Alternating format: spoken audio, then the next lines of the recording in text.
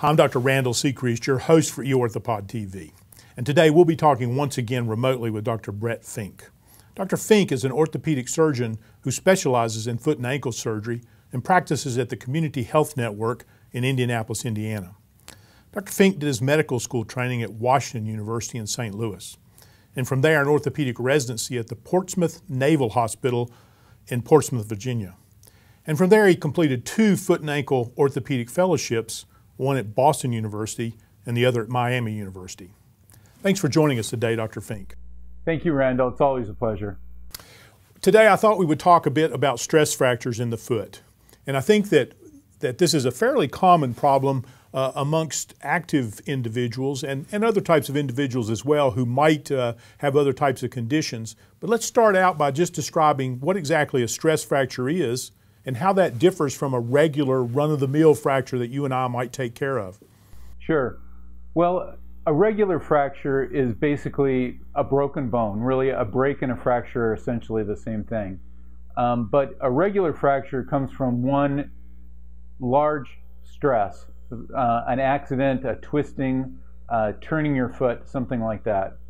A stress fracture uh, comes on because of lots of little stresses. Um, it's kind of like uh, taking a wire. Uh, it, the, the, example is always a coat hanger. If you bend it once, it may not break, but if you bend it over and over again, a lot of times it'll break. Uh, a stress fracture is just like that. It's a lot of little stresses that just overwhelm your body's ability to heal itself.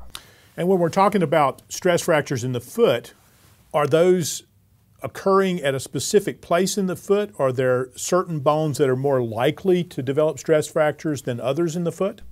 Well, I don't think that there is a bone in the foot that hasn't uh, hasn't been shown to have a stress fracture at some point. But the most common ones are in the end of the forefoot, just before the ball of the foot, in the bones called the metatarsals, which are the longest bones in the front of the foot. Um, other bones that can be that are commonly uh, involved in stress fractures are the end of the fibula bone, which is along the outside of the ankle, and the navicular bone, which is just in front of the foot. Uh, if you were to look straight down at your shin, it would be more or less where the shin meets the uh, front of the foot, uh, just in front of the ankle. And, and why do people actually get stress fractures in the foot? You mentioned that this is from repetitive stress or repeated stress. So are we talking about people that have increased their activity? Are we talking about runners? Are we talking about folks who may have other d- diseases of the, of the skeletal system and the bones? What leads to a stress fracture? Well, it, it's kind of a mixed bag. I, I, would have to say the majority of my patients, um, you can't really identify uh, a definite cause, although I think that there are some causes that we can look for. Um, the classic example is of you know a, a kid that is used to um, not very much activity. Uh, you know, a 17-year-old that goes off to boot camp and is all of a sudden thrown into an environment where they're doing a lot of activity uh, um, every day uh, as you get in boot camp. Uh, and those people develop stress fractures because their bones just aren't used to that type of increased activity or starting a new exercise program. But the most common kind of stress fracture is just someone that comes in and has sudden pain and swelling in the front of their foot. And really, you talk to them and it's hard to identify exactly what might be causing it. Uh, those are the people that I think there's been some subtle change in their foot or some change in the way that they can heal their foot that has gone wrong to develop the stress fracture. So you've mentioned you, have mentioned the fact that people present to your office with pain and swelling. Any other symptoms that would uh, tip you off that that what you may be dealing with is a stress fracture rather than some other condition in the foot? Well, really, when I'm examining someone, the local the the uh, the position of their pain is probably the most fundamental. Um, it's typical for people to come in and say, my my foot's been hurting for a couple of weeks. I've been getting swelling. That can be a couple of different things. It could be inflammation in some of the joints around the front of the foot. It could be um, arthritis in the middle part of the foot. Uh, it could even be a neuroma. Um, but usually, when uh, you have a stress fracture and you pinpoint the area of tenderness, it is directly on the metatarsal bones, exactly where a stress fracture should be. And so, from a, a clinical perspective, from an examination perspective, from my perspective, when I'm looking at them, it is really a fairly easy diagnosis to make, even when the x rays are, are normal, and sometimes they are. Well, I tend to remember from, from my practice years that we always sort of thought of a stress fracture as something that usually, as you mentioned, followed uh, a change in activity for the most part. And I think that as, as I recall, about three weeks after a massive change. So, for example, if you if you go to boot camp, uh, it's that three or four weeks into it, or if you start a new running program when you may not have run before, three to four weeks after starting that was I think is the is the most common time for these types of stress fractures to present themselves. Is that still our thinking? Uh, that, that's very common. Um, the the body reacts to new stresses by reinforcing itself, uh, and that's and that was actually a um, there was a doctor in the 1800s named Julius Wolff who came up with that. Uh, basically, what he said is that the bone m- remodels itself and reforms itself in order to accommodate the stresses that it's uh, that it's uh, that are imposed on it. So, if you were an astronaut and you were weightless for a period of time, your bones would all weaken, and that's something that that people that spend long times in space that they have to be careful about. Um, it takes, I would say, I think that you're right, about three or four weeks for the bones to really remodel themselves. So if you're starting a new exercise program, it's a good idea to ease into it and to be very aware when you're uh, when you start developing pain because that may be a sign that you're overstressing your bone. Well, let's move on a little bit to diagnosis when the patients finally come in with foot pain, uh, something that's driven them to seek some type of medical uh, care, medical diagnosis what do you do on that first visit to try to get at what's causing their pain? Well, like I said, a physical examination most of the time tells me exactly what I need to know. Um, I usually get x rays. Sometimes they're normal and sometimes they're not normal. It really depends on what stage the stress fracture is in. There is a stage of stress fracture where the, where the x rays look completely normal, and sometimes this is early on in the early on in the whole progression before the bone has completely broken, where the bone is just inflamed. If you got a more sensitive study than an X-ray, like an MRI, um, then you might see a lot of swelling inside the bone uh, rather than a complete break. Um, so even when the X-rays are normal, uh, there are situations where I have a high index of suspicion, where I really know that someone probably has a stress fracture. And usually I just go ahead and treat them that way. And I check them a month later and see how they're doing. Uh, and typically they just get better over the next two or three months. So let me clarify that. What you're saying about the MRI scan is that if you're suspicious of a stress fracture and you make the diagnosis of a potential stress fracture and you don't see it on x ray, you don't necessarily go ahead and do an MRI scan at that point. You'll go ahead and treat them with a presumptive diagnosis of a stress fracture. And if they get better, obviously they probably did have a stress fracture. If they did not, if they do not get better, then I'm assuming you either re x ray them at that point or proceed on with an MRI scan to make sure that that's the diagnosis? I, I, think that there are only a couple of reasons to get an MRI scan. One is if someone isn't improving like I expect them to. So uh, initially, you know, a stress fracture being most stress fractures being uh, diagnoses that aren't particularly dangerous, I just treat them. That's the most inexpensive way, and I can treat them just as well without having the information that an MRI scan would give me as with it. Um, so typically, I do not get an MRI scan in order to work people up.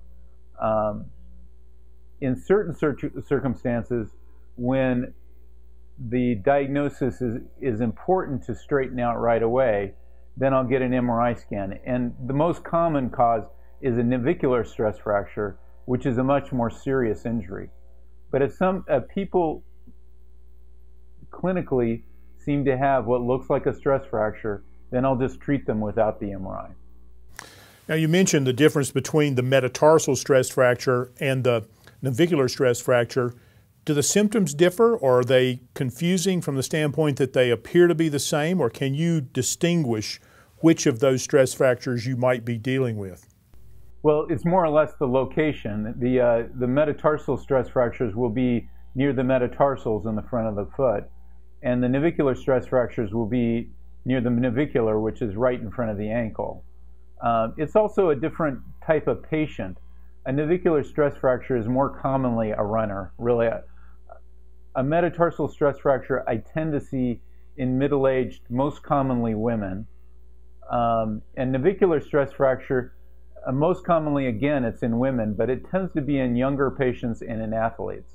And so they're, they're kind of a different population set. But the most important thing is really knowing exactly where, where it's tender and that tells me whether which fracture I should be suspicious of. Now, you mentioned you might be a little bit more aggressive if it's a navicular stress fracture. In that case, would you go ahead and do something like an MRI scan or perhaps a CAT scan if you're suspicious that you're dealing with an evolving stress fracture in the navicular? Yes, I will. Uh, if I think, and I think that either study is reasonable. Um, an MRI is uh, slightly more sensitive, meaning it'll it'll show um, a fracture that is is is really at the swelling stage only, whereas a CAT scan really has to have some change in the bone. Uh, an MRI scan, of course, is a scan that uh, images the foot with radio waves, which shows um, things like the condition of the soft tissues, whether the tissue is swollen or not.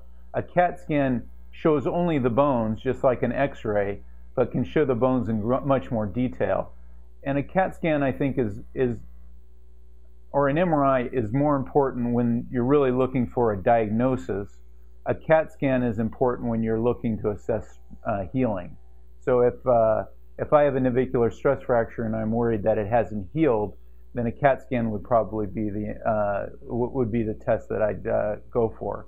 If uh, if I've got a, a person that I suspect has a stress fracture of their navicular bone, then uh, and the X-rays are normal, then I might get an MRI just because I, I know it'll pick up a couple more stress fractures that I should know about uh, than a CAT scan would.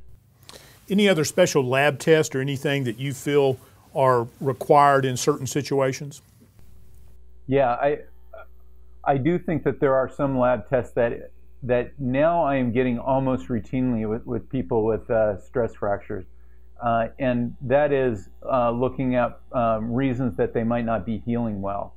And uh, the tests that I get are a test to look at um, a hormone that the body uses to repair itself called the parathyroid hormone. And I also get a, a serum vitamin D level, which looks at whether someone is vitamin D deficient. Uh, vitamin D is a, a, is a vitamin that the body uses to help uh, regulate bone healing. Uh, and what we found over the last couple years is that a lot of people with these um, stress injuries uh, are vitamin D deficient, and I think it's important to um, make sure that we uh, give them enough vitamin D because, of course, this medicine is very cheap. Um, so that that's almost a routine part of my workup for someone with a uh, uh, stress fracture now. Well, let's talk a little bit about treatment, and let's maybe begin by treatment of, of the common metatarsal stress fracture, and then move on to the perhaps a little more complicated stress fractures that involve the navicular bone in the foot. How would you normally start treatment with both of those fractures? Well, for the metatarsal fractures, um, initially I look at the foot and I try to get some clue as to why things this might be happening. Um, we've talked a little bit about um, midfoot arthritis.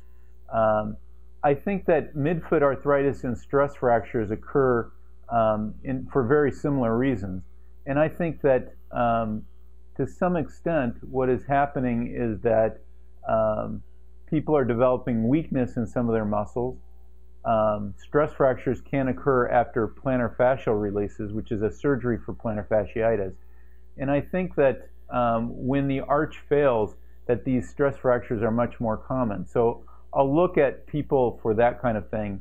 And in those situations, once the stress fracture is healed, I think it's important to work on strengthening those muscles because we don't want more stress fractures to occur down the road. Um, as the name implies, a stress fracture occurs because of stress. And if you have a stress fracture, then, uh, then obviously your body is not able to keep up with the stress that injures it on a very small basis every day.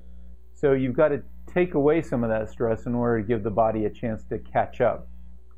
Um, so often, depending upon how bad the stress fracture is, I will put the, the patient or I will put people in either uh, a firm soled shoe, such as a rocker bottom, uh, a rocker soled shoe, uh, or a cast boot, or even a cast, uh, depending on how bad it is, because I really don't want that stress fracture to uh, progress and to go from being just swollen or non-displaced to a displaced stress fracture, uh, one that where the bone has moved, uh, which might make the uh, foot less functional afterwards.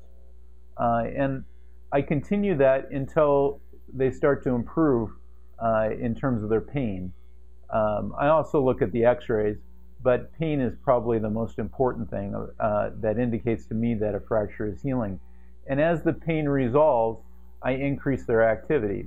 And we kind of look at what their goals might be for activity. If it's someone that's just that's just trying to get back to normal walking, then uh, then we gradually increase their activity until they're able to get back to that level. If it's someone that uh, that wants to be a runner, then uh, again the uh, the uh, the rehab is going to be a little bit intensified. Um, and then we look again at metabolic reasons.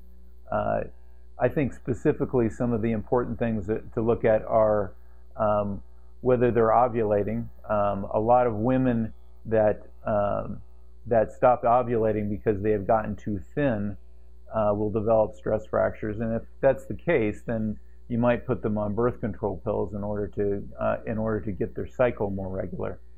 Um, and if the laboratory tests come by come back that they're vitamin D deficient, then I'll give them vitamin D tablets, a, a much higher strength than you normally get in the uh, in the drugstore. Um, and then if they've got some abnormality of their uh, parathyroid hor- hormone, then I'll have an endocrinologist evaluate them to see to see whether there might be some problem with it and common problems that you might have with uh, the parathyroid hormone would be a little tumor that causes the parathyroid to start producing more parathyroid hor- hormone. And what about the navicular fracture? Do you treat that any differently uh, when you begin treating it, or pretty much the same way? Navicular, navicular fractures are a little bit tougher, and if uh, the navicular bone is really the center of the arch, uh, it is under a great deal of stress, and if it deforms itself, then you could end up with uh, with uh, really a non-functional uh, non-functional joints in the middle of the, your foot. Uh, it can basically ruin the uh, the subtalar joint, which is the joint that allows you to bring your foot into the midline and outward, kind of rotate it around, move it from side to side um, and the joints in the arch. Uh, so if that happens, it really is a disaster. So for someone with um, just swelling in the navicular bone, I will usually keep them non-weight bearing until the pain goes away. If the person is an athlete um, and potentially if the bone has completely fractured, those are some that we usually will go ahead and fix. Uh, and the operation to fix them is very simple. Uh, it's percutaneous, meaning that it uses very small incisions that go through the skin. And basically, what you do is you put a screw from one side to the other that stabilizes the bone and gets it to heal much faster and much more reliably. Um, and I think, you know, I am not, as you know, one to push surgery when you don't need it. But in that situation, I think that surgery really does a great deal to keep you from having complications and to increase the chance that this heals up uh, quickly and with minimal fuss. And do you uh, go back in and remove that screw, or is that screw there for forever? I usually leave it in unless the unless the person is having symptoms. So uh, I will probably remove uh, five percent of them. Uh, my feeling is that once that navicular bone has shown that it has the potential to fracture, that removing it is just asking for trouble. So unless people are really having some difficulty with the screw, which is very rare, I leave it in. And let's talk a little bit about, about how long it takes for these to heal. You, you mentioned that you look at pain for at least the metatarsal fracture, and I'm assuming also for the navicular fracture. How long is it before these two fractures get to a point to where people can be back to their normal everyday activity? Well, healing from a, a stress fracture or any injury is a process, so it's always a little hard to say, well, at this point you're healed. Um, typically, people with um, metatarsal stress fractures take a month or two of reduced activity before they're able to resume more or less normal activities in shoes.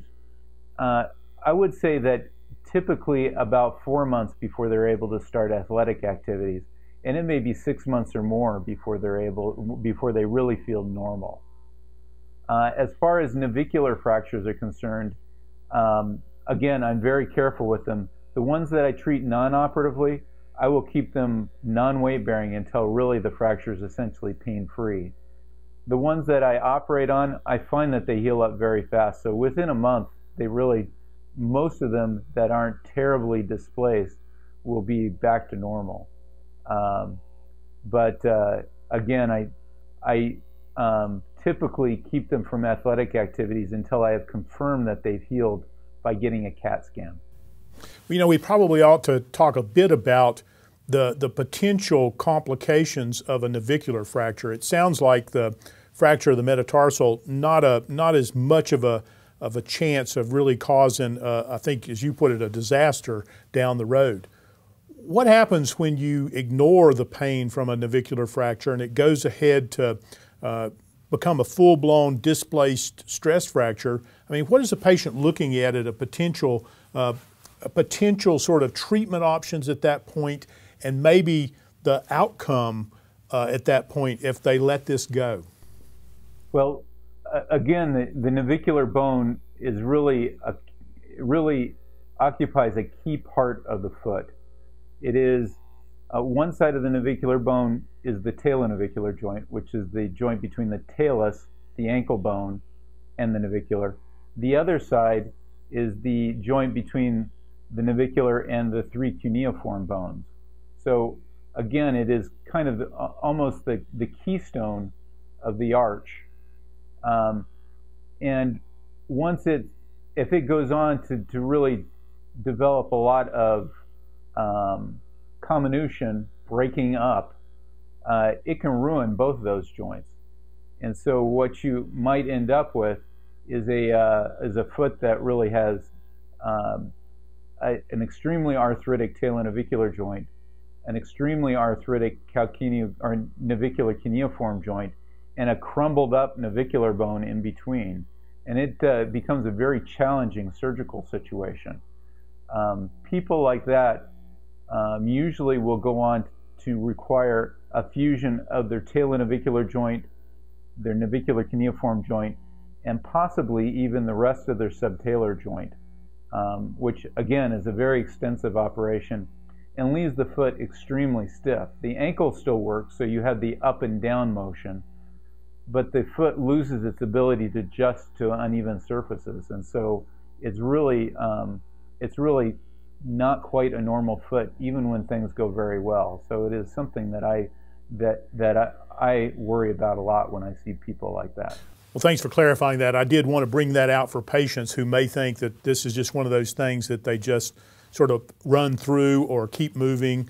Uh, you know, no pain, no gain. This is not one of those things. This can lead to fairly extensive problems down the road, which you may never recover from. So thank you for clarifying that for patients. Exactly, and it, it is it's especially disappointing because a, a, great many of these people that develop these problems are athletes, and uh, you know they may be in their the the prime of their um, athletics, and it may it may uh, bother them uh, a lot psycho- psychologically lose that ability to do things.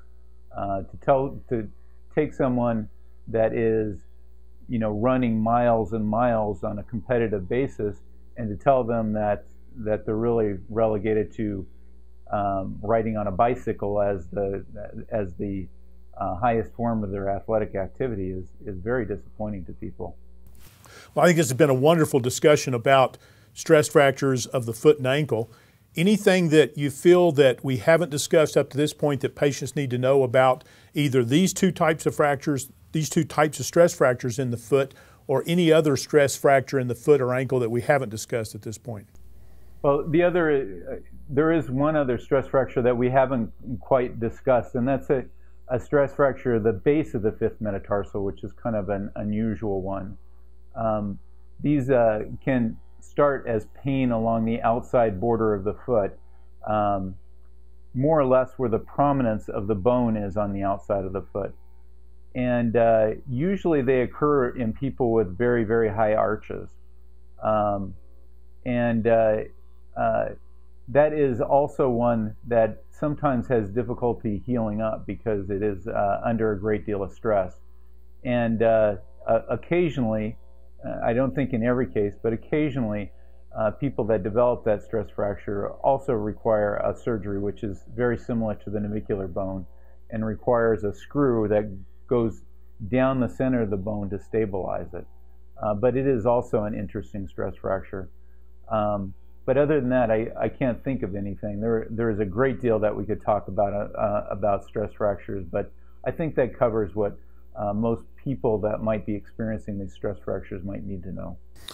Well, I want to thank you for joining us again today. This has been a great discussion. I think patients will find a lot of useful information if they're having pain in their foot or if they're currently diagnosed with a stress fracture. So thank you very, very much for sharing this with patients and look forward to further discussions in the future. Thank you very much. I always enjoy it. Thank you very much.